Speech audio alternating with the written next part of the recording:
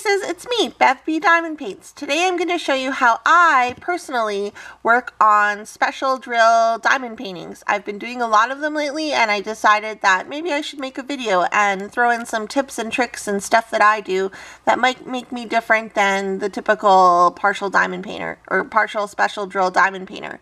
So before we get started, if you're new here, go ahead and smash the subscribe button. I post new videos about diamond painting on a regular basis, like four or five weekly, I would say.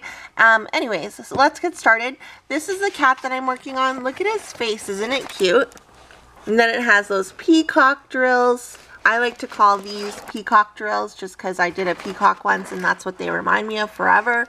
Um, I have most of it completed except for a little square area which I'm going to show you in a moment. But that is how much I've completed so far. It's turning out really pretty. I'm really happy with this one. So on this canvas the legend only came only came on one side one corner. And it is a pretty big canvas. I believe it's like 30 40 by 50 or something like that. So I ended up cutting out the legend so that when I was working on the lower end of it of the canvas I could see the legend. So here I just put this legend in with the peacock drills because I didn't want to lose it. And I knew if this thing was just flopping around on my desk I was going to lose it. So when I work on partials all I do is I leave the clear plastic because um, I don't know it's just easier. And you'll notice that uh, when you work on partials or special drill diamond paintings there's not always going to be glue everywhere. There's only going to be glue in the drill areas. So I just leave the clear plastic and I cut it as I go. This one I worked in six sections. So I cut, I used, I did, let me higher it up a bit. I basically just cut it down the middle and then I cut off the sections as I went. And so now I just have this square area to complete. Uh, one thing that I will say is that it's easier if you leave this and you don't switch it out with, with release paper. I don't know why, but for some reason it is. And I like being able to um, use the use the clear plastic as a resting spot for my hand as I go. And I like being able to lift it because there's going to be drills in random places. Like so let's say I was just doing uh, this symbol here this red arrow um, there's going to be drills that go all the way up here and then here and here. So I just like being able to have a spot to rest my hand, to rest my tray, because the closer my tray is to where I'm putting down the drills, the faster I end up drilling. So let's get started. Um, I'm going to be doing the bottom down here. I have everything kitted up very simply in this small container. I don't use my Elizabeth Ward or um, another way of kitting up when I do partials or I do special drills. So I keep calling special drills partials. They are partials, but they're special drills. But I just use this container because I don't need a huge Elizabeth Ward because they're usually under like 20 colors. They're usually like 15 to 20 colors. So I'm going to do number A, which is number seven. They come with these really pretty, pretty, pretty gold ones. And so I think what differentiates how I diamond paint with uh, special drills is most people use tweezers to put down their drills. These are these really nice gold ones I got from Mary's Diamonds. Look how blingy they are. Um, most people use tweezers, so they'll go like this. I'm horrible at it. They'll go like, I can't even show you. Yeah, I can. They'll go like that, and then they'll put it down and they'll do one diamond at a time. I don't have patience for tweezers because I like to diamond paint fast. Uh, I'm not a perfectionist by all means. Like I will just get the drill down in the spot and move on. I don't like worry about it being perfectly placed or anything like that. So I don't use tweezers at all when I do partials. What I do use though, because partial or special drills, sorry, when I do special drills, um, I use a three placer. So this is just a three placer on my Daft Designs pen um, and I just use it to pick up the drills because a single placer isn't going to pick up necessarily pick up these big drills. Sometimes you can get away with a single placer picking up these bigger odd shaped drills, but most of the time a three placer will work. And in my three placer, I just have some of this root beer putty from Sensible by Design. I really like using putty when I do special drills because they're it's just stickier and for some reason it just works better. It also helps if you're doing special drills and you and you are using putty if you you leave extra at the top. So I didn't leave I left extra at the top, but now it's like all pushed back into the pen. But if you do leave a bit of extra sticking out, um, it will pick up the drills a lot easier and it won't leave residue either. So I just pick them up like that and then I put them down. So essentially I'm using the three placer as a single placer for special drills. And if you're lucky, sometimes you can pick up two drills at a time and then you can use your three placer as a two placer multi-placer. So that is just how I diamond paint faster. Like I have to do this whole row and then this whole row of the A's. Um, and then what I'll do is I'll go through this small section and I'll find anywhere where there's A's that are in here and if there are I'll put down the A's so there's A's all along here. I'll put those down and then I'll move on to another color. It's just a lot easier to do work in sections. When I do special drills instead of going row by row or like smaller section my smaller section I work in larger sections because it goes a lot faster and it's just it makes more sense because with special drills you'll be switching drills a lot um, it's kind of like confetti, but more fun than confetti because you get to work with like really fun drills like these ones. These are really pretty. Now I have to try and get them back in the container. Oh, and that's another thing as well. Um, when you're doing special drill diamond paintings and you're pouring things back into the container, let's say here, um, it's not so much these ones actually. When you are doing special drills, you want to make sure that when you're pouring things back into the container, you're not pouring things over top of your the area that you've already drilled. You want to pour them over if there's an area that has plastic or the area kind of you're working on or off to the side on your desk because if these drills fall into the spots where you've already drilled, they're a huge annoyance to try and get out of those spots because they'll fall within they'll fall between uh, different sections or rows or columns, whatever you want to call them, and then you have to kind of fish them out with tweezers or with your single placer. So it's really annoying. So make sure when you're pouring drills back into your containers you're doing it over plastic or your desk and not over the area you've already done or drilled. Another thing is when I finish a section I take my roller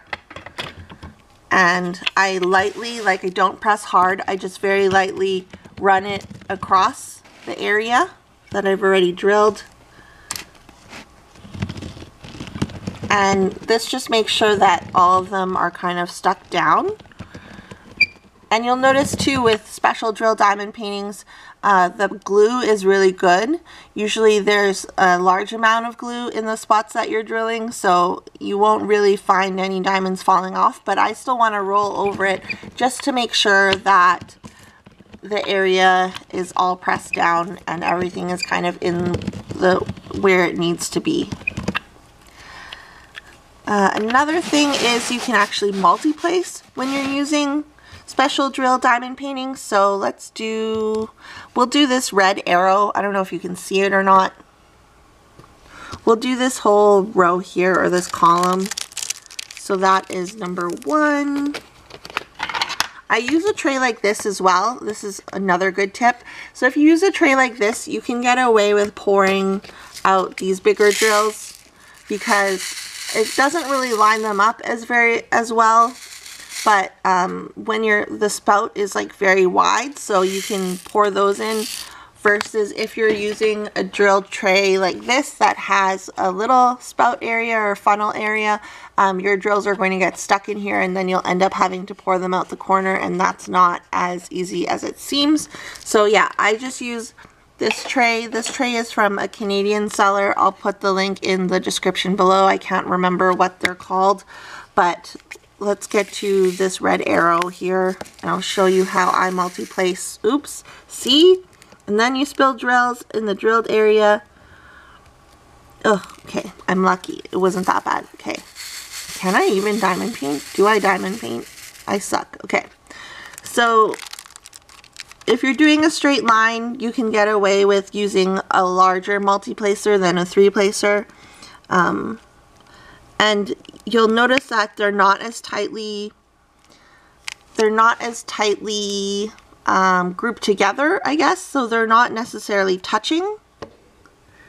So you'll want to make sure that you leave, that you don't put them down too tight, like when you're drilling, if that makes sense. So I usually will put down a couple and as I'm going I'll slide my multi-placer when I'm putting them down so that it matches up to the, the drill spot.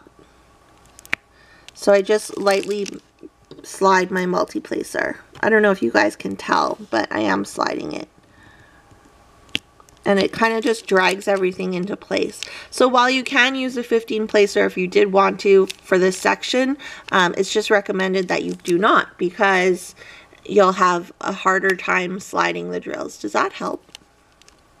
I just turned the light on. That helps a little bit. And there you go, I missed one, so. Okay.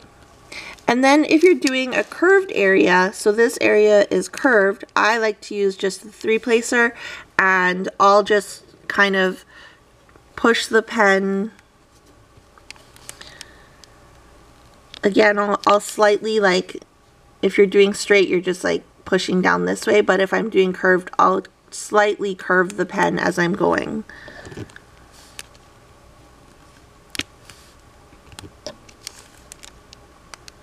Then if you see anything that's out of line, you just go back. Like I will usually do the entire row or column or whatever it is, or the entire curve, and then I'll go back and straighten out any drills that aren't sitting properly. So you, like with a special drill diamond painting, I think people expect that they have to do them all one at a time, like with a single placer, but you don't have to. Get creative, use a three placer, four placer, whatever floats your boat. Usually I find anything more than a six placer is too much for multi-placing, so I usually just stick with the three placer. Or if I have a four placer, I'll use a four placer, but for the most part, working on curves, a three placer is probably max what you want to use because of the way the drills are, you have to lay out the drills.